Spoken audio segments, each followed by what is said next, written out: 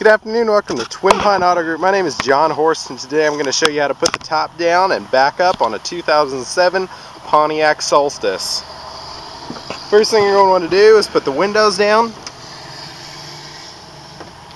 You're going to hop inside. There's a release latch up at the top and that releases the front. And then what you're going to want to do is go into the glove box and press the trunk button. What that does is it pops these little guys up and releases the trunk. So go ahead and flip the trunk open. And then what you're going to want to do, you have the latch released, just grab the top and fold it down in. Push it down in and then go ahead and close the trunk.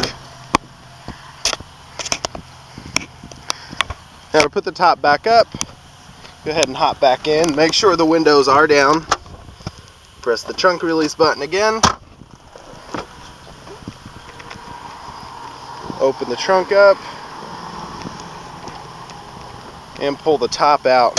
Now what you're going to want to make sure you do is get these pins aligned correctly.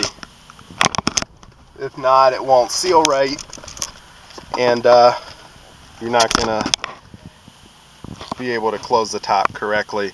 Um, just go ahead and close that handle again.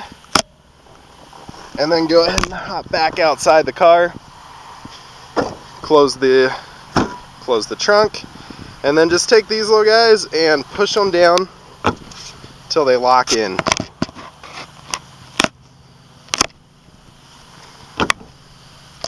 And that is how you open and close the convertible top on a Pontiac Solstice. I'm John from Twin Pine Auto